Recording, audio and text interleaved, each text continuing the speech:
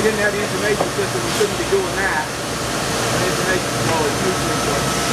Uh, the stuff all arrived, and right now we have about a three-week lead time from the time customer orders to the time we ship their set. Uh, and that means, in theory, zero inventory. Not quite. Period.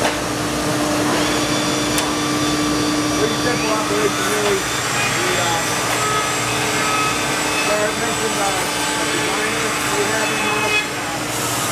He can produce a panel with virtually any shape he decides.